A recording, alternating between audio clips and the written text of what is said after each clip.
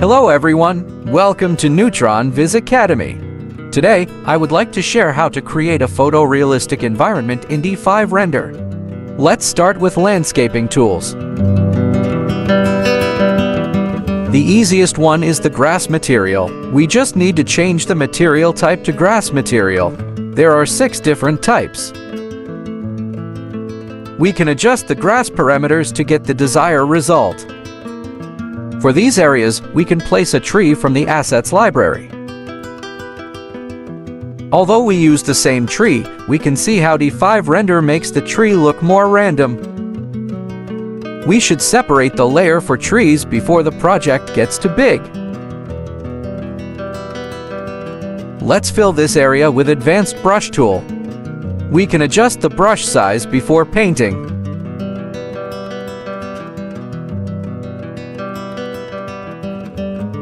We can change to Eraser tool by clicking Alt button. Then click Add Assets button to a desired plants.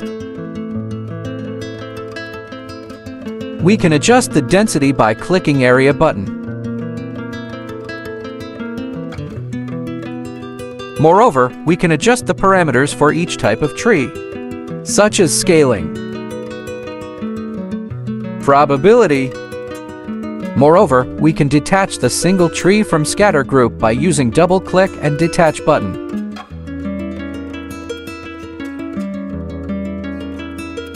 For the background environment, we can use Path for Nature tool.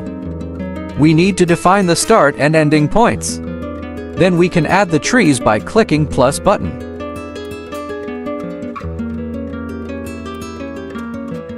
We can adjust the parameters to get desired result.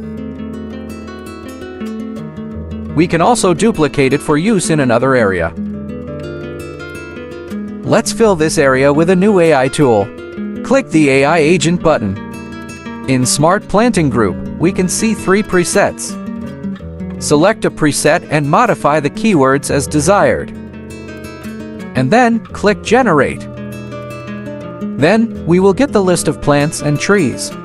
Click Auto Scatter button and then select the ground that you want to grow plants. And then click Create. After clicking the Update All button, we will get this result.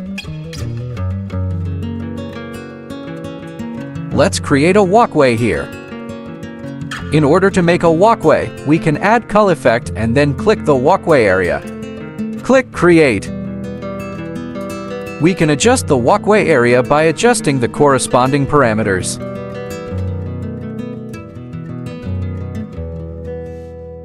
Let's create a landscape area on the existing terrain. Select the terrain and then go to the Paint section. Add a new ground material. Paint on the surface that we want to grow trees we can create the walkway by using the same method. Go to the Material setting and select Create Scatter Area. This will create the scatter area on the terrain. Click Image Divide to divide the scatter area. Click the Area button and choose a color map. Enter the number you want to use to divide the area. Then, we will get the sub-areas. Select a sub-area and add the desired trees by clicking Add Assets button. We can adjust the density by clicking Sub-Area button. We can also use scatter presets by clicking this icon. Let's add some decals. In D5 Render, we can find so many decals in Assets Library. The more decals you add, the more realistic the result will be.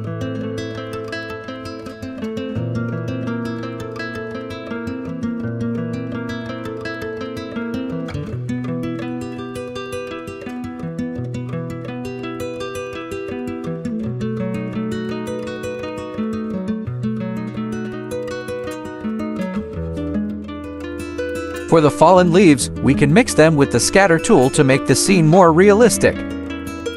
Select Add Scatter Tools and then click Select Material. Then, select the street plane. Click Create.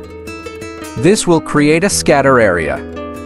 This time, we will choose the Edge Divide icon. We can now select the edge area of the street.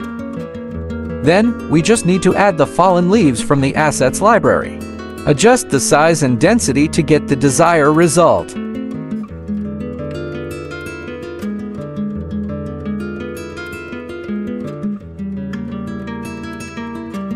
Let's move to lighting and environment effect.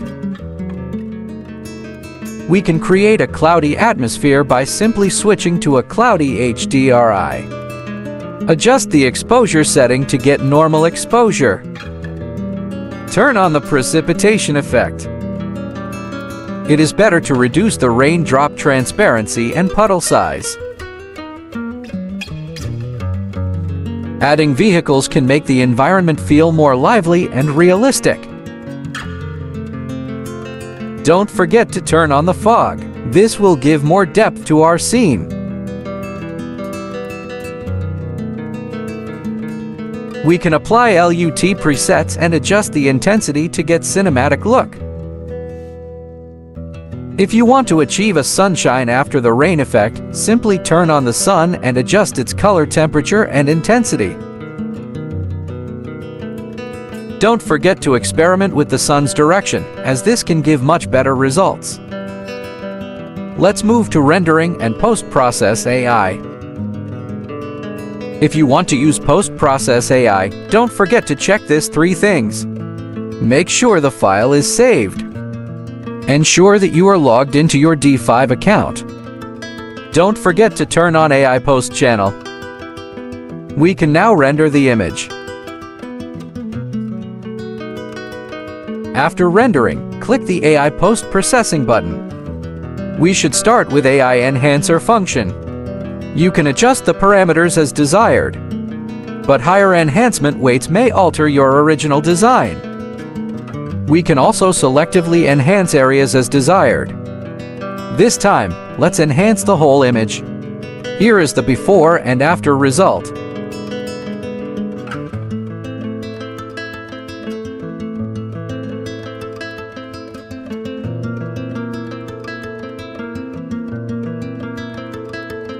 We can add some motion blur at Effect panel. Select the object that you want to add motion blur. Increase the blur weight to get the desired result. We can also change the sky add in painting section.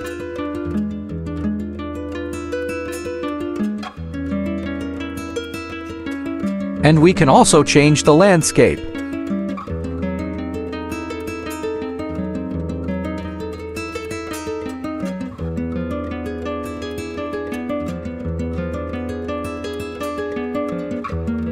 This is the end of my tutorial. I hope this covers most of the topics you want to know about. Thanks for watching my tutorial, and don't forget to subscribe.